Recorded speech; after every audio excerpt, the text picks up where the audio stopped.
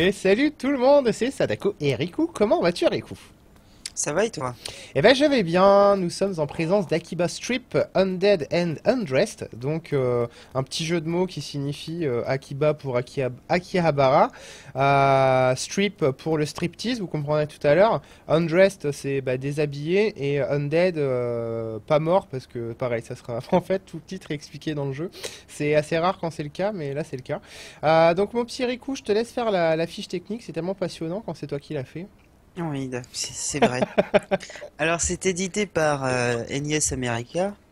C'est développé par euh, Acquire ou Akir, je sais pas trop comment on dit, ou Akele Mais euh, ouais. on va dire Acquire, enfin je sais pas. Voilà.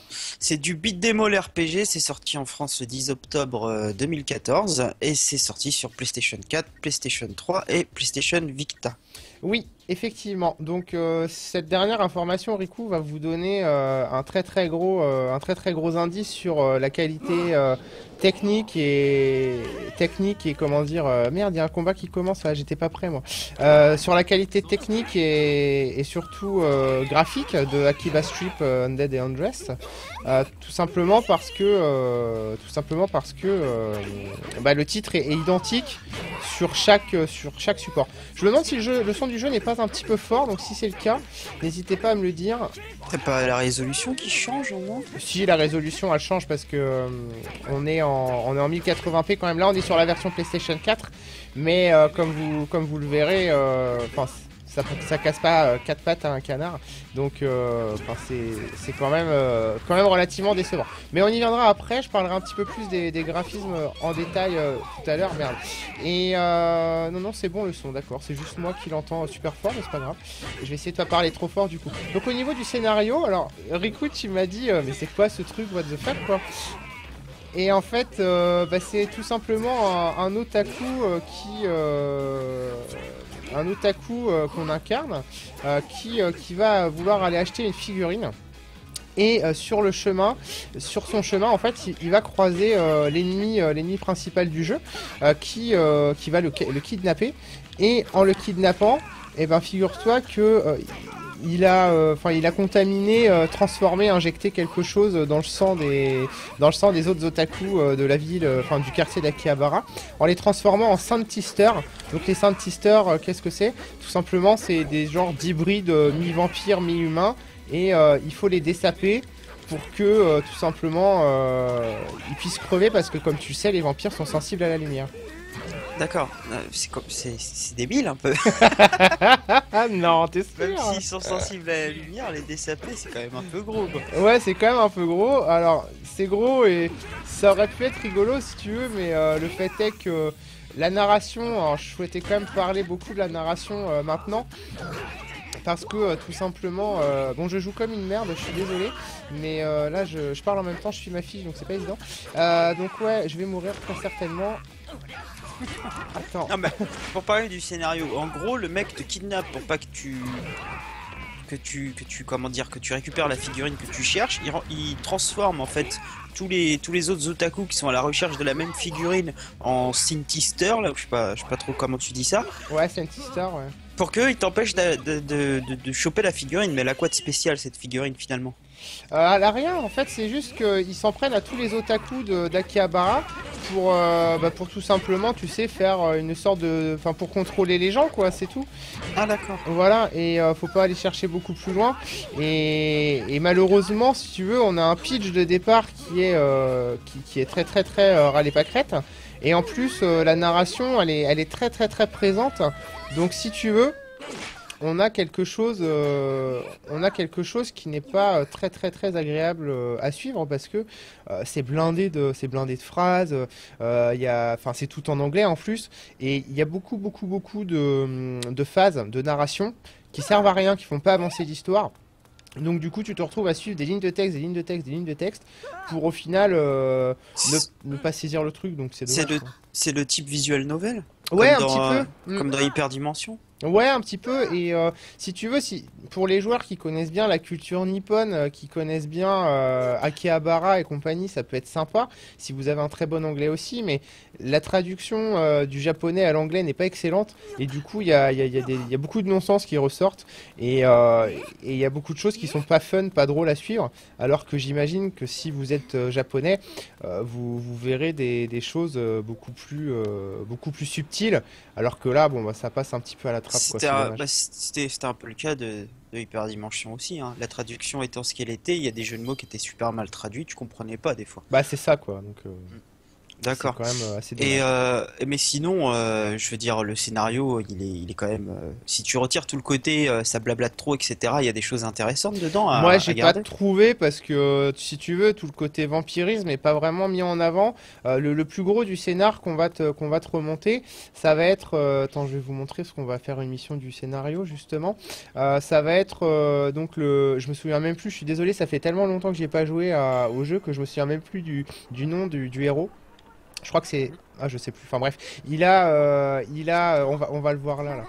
Il a euh, donc tout son crew en fait parce que euh, il fait partie d'un club qui collectionne les figurines Mhm. et enfin un club de taku en fait qui se rejoignent toujours au, au Mogra qui est le qui est le bar le bar branché du coin et si tu veux tous ensemble ils vont pouvoir ils vont pouvoir allier leurs forces contre les contre les les et ce qui est sympa c'est que petit à petit tu as d'autres gens euh, que tu vas croiser tu vas avoir des doutes. Ils vont finalement se ranger de ton côté d'autres vont te trahir. Donc tout ça c'est assez sympa à suivre. Mais euh, encore une fois ça sera intéressant à suivre si vous avez le courage de, suivre euh, vraiment les, très très nombreuses lignes de, de texte parce qu'il y en a vraiment beaucoup quoi. En tout cas, les, euh, les vignettes des, des, des, des personnages sont assez sympas. Moi je trouve que le jeu a beaucoup de charme, euh, j'ai- j'aime beaucoup l'ambiance de ce jeu là et ben, vous le verrez quand on parlera tout de suite après des points forts, points faibles et du verdict du jeu parce que ça va pas être un test très très très long.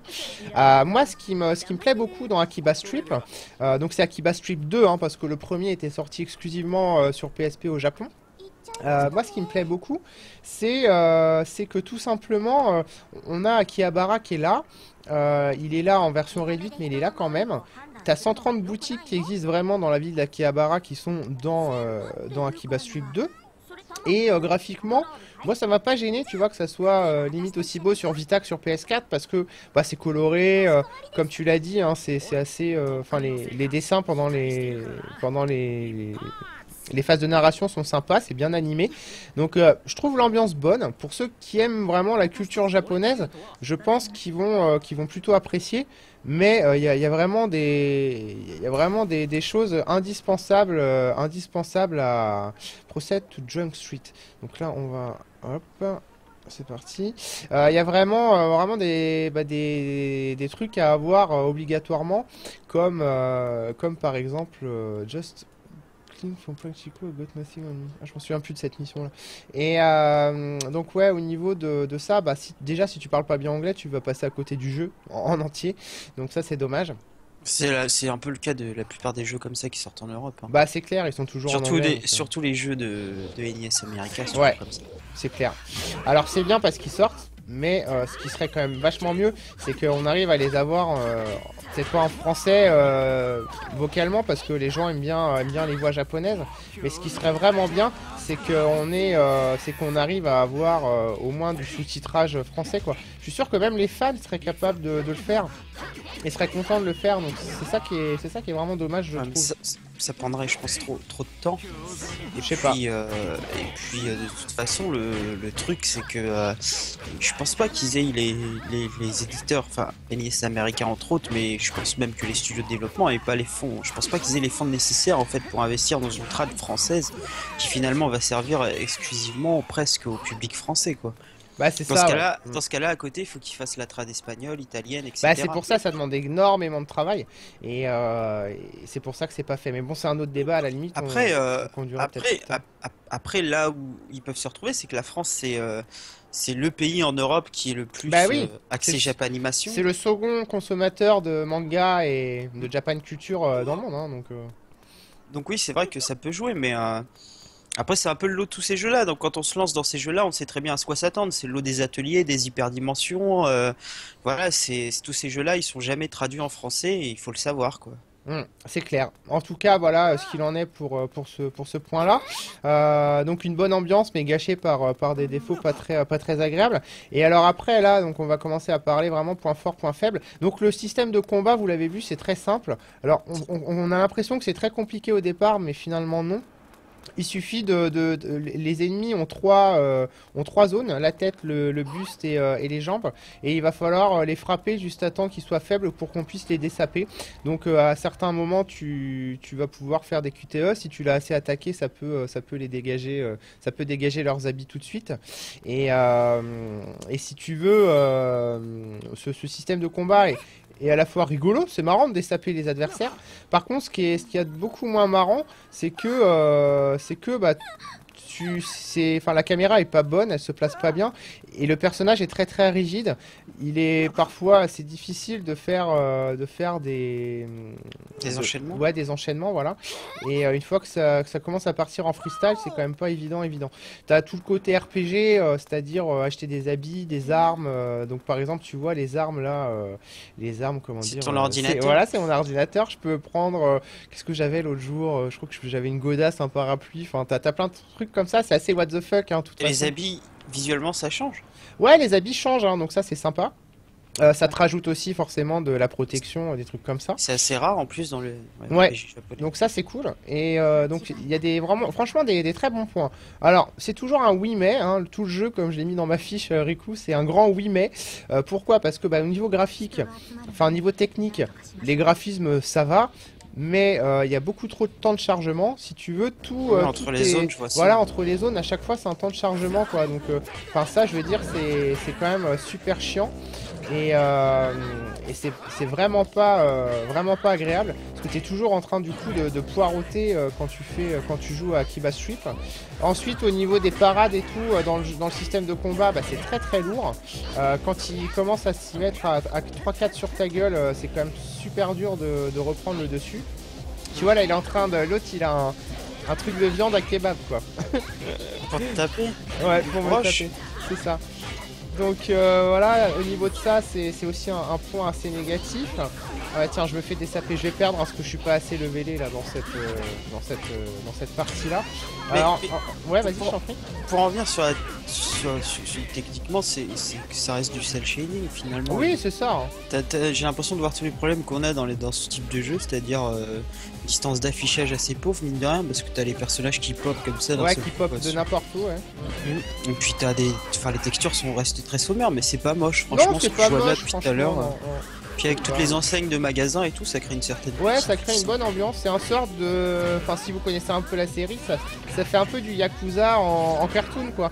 Donc, euh, c'est sympathique. Moi, je, je trouve ça franchement, euh, franchement euh, plus que plus qu'acceptable.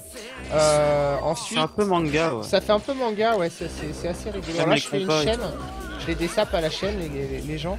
Euh, je sais pas, on va peut-être réussir à y arriver à ce combat, mais euh, tu vois, regarde là, la caméra par exemple, elle se place, euh, elle se place pile poil derrière le, derrière le panneau et c'est- complètement ensuite. Mais toi- euh, Toi, t'es un, un vampire, toi. T'es Ouais. pas un vampire, donc pourquoi il ça?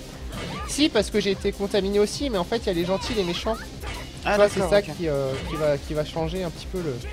Ah, le Il y a les vampires Dracula et les vampires Twilight. Ouais, c'est ça, ouais. D'accord, ok.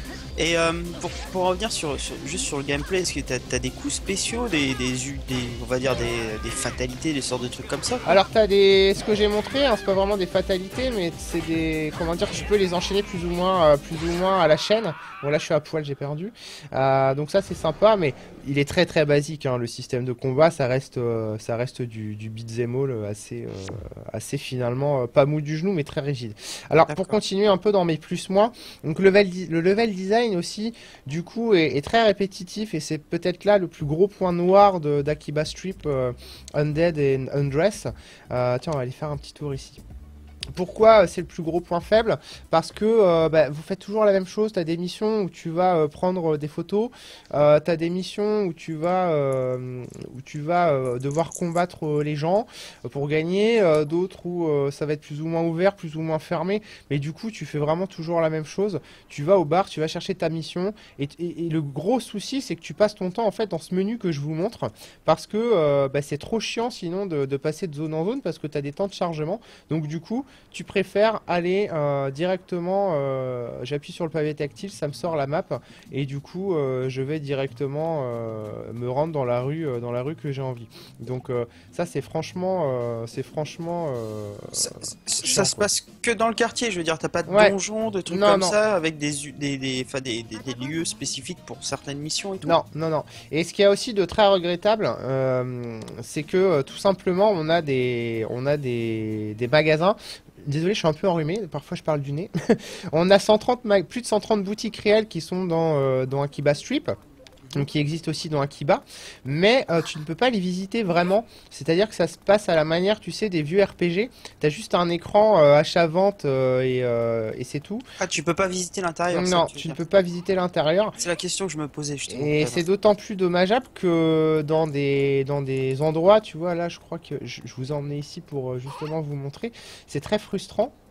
Parce que tu sais, t'as as beaucoup de clubs Sega au Japon, enfin à Akihabara, ou euh, enfin des grosses salles d'arcade et tout et tout. Là je suis à la gare routière là. Tu peux pas aller dedans Non, je peux pas aller dedans et c'est dommage parce que même pas dans. comme dans Yakuza ni rien. Eh ben non, même dans Mogra, euh, ouais, Electric Town Plaza, c'est parti. Même dans euh, Mogra, le, le bar, euh, t'as t'as deux, euh, deux bornes d'arcade, tu peux pas y toucher, tu peux pas y jouer, donc euh, ça c'est franchement con, c'est euh, franchement dommage. Et- Après, c'est peut-être un problème de droit là pour le coup. Je pense que c'est un problème de droit, mais c'est surtout un problème que, bah, que le jeu est, est finalement fait avec un petit budget, je pense. Et il y, a, il y a plein, plein, plein de choses. Tiens, il y a un France Dining là. Il y a plein, plein de trucs qui n'ont pas pu du coup être développés parce que ça prenait trop de, ça prenait trop de, trop d'ampleur quoi. Donc euh, ça, ça, je trouve ça franchement dommage parce que euh, bah, on aurait pu avoir un- finalement un vrai jeu à monde ouvert, alors que là, euh, bon bah, on peut juste déambuler dans les rues, chatouiller les passants et les, les bastonner de temps en temps, et c'est tout ce qu'on va pouvoir y faire. C'est énorme les, les gamins qui photographient la meuf en, en mode idol et tout. Ouais, c'est ça, bah, c'est Akihabara, hein. Ah, c'est énorme ça. Ouais. Après, après, il faut quand même rappeler que c'est pas un jeu triple A, c'est Ah un jeu non petit budget, donc finalement, euh, ils font ce qu'ils peuvent aussi. Quoi. Oui, ils font ce qu'ils peuvent. Ouais. Et c'est déjà bien. Mais euh, ce qu'il y a, c'est que moi, j'ai mis 10 sur 20 à Kiba, Strip. Personnellement, moi, ma note à moi, elle serait plus de 12, 12 sur 20. J'ai mis 10 parce qu'il faut quand même euh, tenir compte bah, du public euh, très diversifié euh, qui pourrait tomber sur cette vidéo et sur le test écrit. Et euh, je le conseillerais déjà pas au prix fort euh, de 60 euros que j'ai vu dans, dans un supermarché, plutôt vers les 20-30 euros. Et achetez-le si vous êtes fan vraiment des jeux, des jeux de niche euh, japonais. Euh, je vous en ai montré un, je sais plus, il y a, il y a quelques temps, euh, je sais plus lequel c'était, mais euh, Hyperdimension euh, non, c'était pas Hyperdimension. Ça, j'aime pas du tout. Mais mais du coup, ouais, il peut plaire, mais gardez bien à l'esprit que c'est quelque chose de très répétitif. Il y a des bonnes idées, mais c'est pas exploité parce que, comme tu l'as dit, Riku, bah, c'est pas un jeu triple A, et du coup, il y, a- il y a des concessions que les développeurs ont été obligés de faire. Donc euh, l'ambiance est là, mais euh, on a connu plus plus addictif euh, dans le genre, quoi. D'accord, ok. Voilà, voilà. Ben, Je je pense qu'on a fait le tour. je pense qu'on a fait le tour, il n'y a pas eu de questions sur le chat, je crois pas. Donc euh, on va vous remercier d'avoir regardé cette vidéo, puis on vous donne rendez-vous dans euh, la suivante si vous nous regardez en live, ou dans une autre si vous ne regardez pas en live. Salut, salut Au revoir.